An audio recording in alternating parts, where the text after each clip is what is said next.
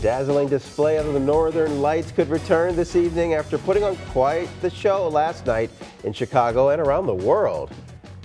Good evening, I'm Tahman Bradley. And I'm Jackie Bange. WGN's Jewel Hillary is live at Montrose Harbor with our top story. Jewel.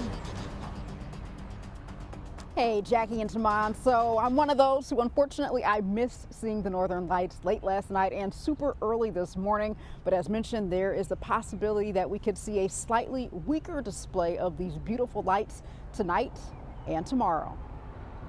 An amazing and colorful phenomenon seen around the globe lit up the night and early morning sky Friday into Saturday. You were disappointed that you didn't get to see the lights? Well, yeah, I, I didn't know that they were going to be out last night, so I heard this morning and I was I was kind of bummed. Evan Miller is referring to the brilliant purple, green, yellow, and pink hues of the northern lights reported worldwide with sightings here in Chicago and suburbs as well as states including Minnesota and Texas, and across the globe in several countries like Germany and Argentina. Basically, what happens is part of the sun actually lifts off the surface, right? So, this plasma, the charged particles, the magnetic field that makes up the sun, part of it actually lifts off the sun and streams away into space. Images of the northern lights from Earth and space are stunning.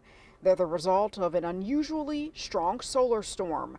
And according to the National Oceanic and Atmospheric Administration, we could see more lights illuminate Chicago's sky Saturday night and early Sunday morning. That would be amazing to see them here in Chicago. I thought you had to go to uh, Alaska to see them or the northern parts of the the country. I will tell everybody out there if you have clear skies tonight and maybe the, the, the um, tomorrow night as well. Go out there, enjoy, enjoy the spectacle. It will be amazing.